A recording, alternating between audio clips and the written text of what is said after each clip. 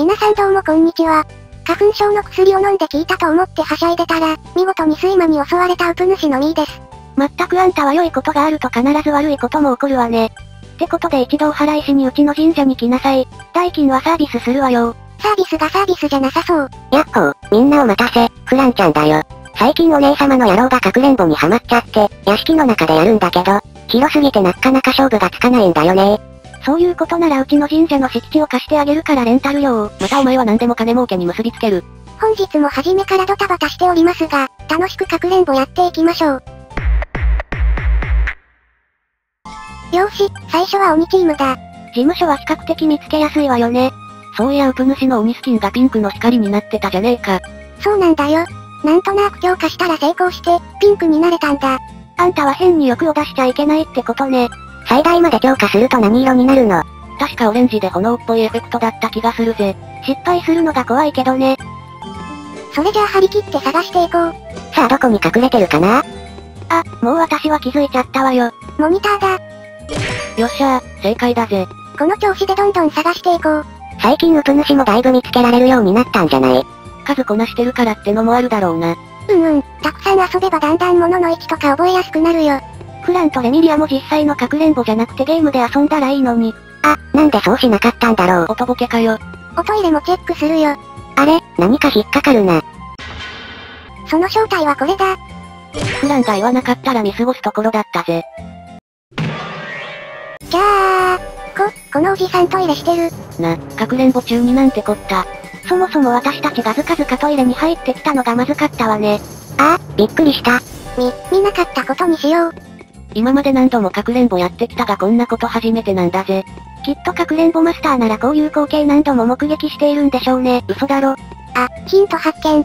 ヒントはソファー218だって。どんだけソファーあるんだよ。よっしゃー、見つけた。残りは10人か。他の鬼さんもどんどん見つけてくれてるわ。私ももっと頑張って見つけないと。ピンポーン、今見つけたのはウプ主ではありません。なんだウプ主がまた見つけたのかと思ったわ。たまたま目の前にいただけだぜ。すごいぐさぐさくる。あ、ヒントまた発見。こ、このソファー動いたわよね。動いてくれなかったら見逃してたよ。あ、ソファーに気を取られててヒント見てなかった。ヒントは電話機だとよ。さすがはマリちゃんいつもいろんなところを見ているだけあるわ。誤解されるような言い方やめろ。え、ダンサー。ダンサーってもしかして、あのトイレしてたおっさんか。あのおっさん元からトイレしてた人じゃなくて、隠れてる人だったのね。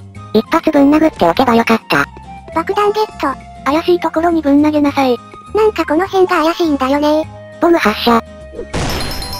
おお、大正解だぜ。残りはあと二人。無敵タイムだからとにかく殴って探そう。一体どこに隠れているんだ鬼が3人になっちゃったから探すのが大変ね。せめてヒントがたくさん出てきてくれたら探しやすいんだけど。やばいやばい。急いで残り探さないと勝てない。あと一人だぜ。あと一人どこ雨あげるから出てきてそんなんで出てくるわけねえだろ。うー、これはもう無理か。残り一人って悔しい結果だね。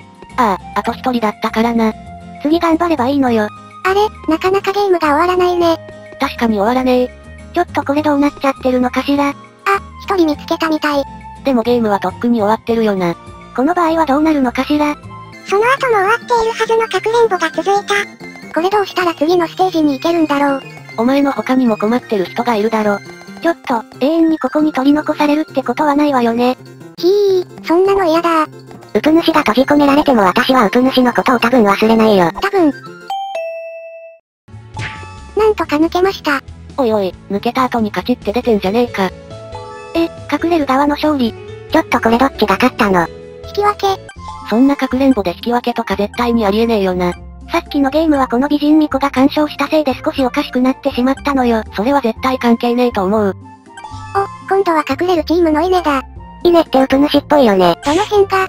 でも稲には結構自信あるんだよねただそれっぽく立ってるだけだろ。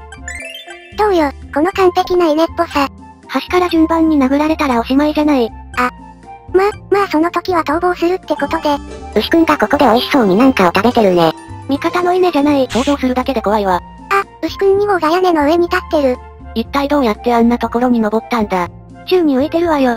こんな牛見たことないよ。あ、落ちちゃった。これでこの牛はステーキになってしまうわね。見つかるだけでステーキにはならねえよ。やばい、鬼が稲の方に向かってる。ウプ主っすか。せ、セーフ。いきなり見つかるところだったぜ。さあ一体どこまでこの稲が殴られずに立っていられるか。私はあと10秒くらいだと思う。私はあと20秒くらいだと思うわ。何分とか言ってー。このステージって建物の影とかに隠れてたら見つからないことってあるよね。ああ、意外とみんな建物より畑とかに目が行くのかもな。私も建物の影に隠れればよかったかな。稲だったら一瞬で見つかるぜ。はっはっはっは、どうだ、無敵タイムまで生き残ったぞ。まさかここまで本格的な稲になりきるとはね。ひー、早速鬼が来た。向こうに行ってくれたわよ。な、なんとか救われたよ。安心するのはまだ早いぜ。こ、こんなに鬼が。これは逃げないと順番に殴られて見つかっちゃう。逃亡作戦、開始いけー、このまま逃げ切れー。シュールな光景だぜ。稲ダッシュ。い、稲ダッシュ失敗。残り二人が耐えてくれるわよ。そうそう、ウプ主の稲ダッシュは無駄じゃなかったって。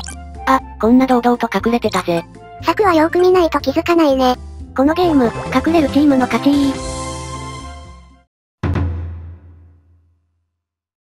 今日も最後まで見てくれてありがとな。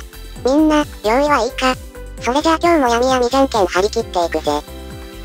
最初は、グー、じゃんけん、ぽん、あっち向いてー。ほい。いやー、あのトイレのおっさんにビビったぜ。それじゃあまた次回も勝負しような。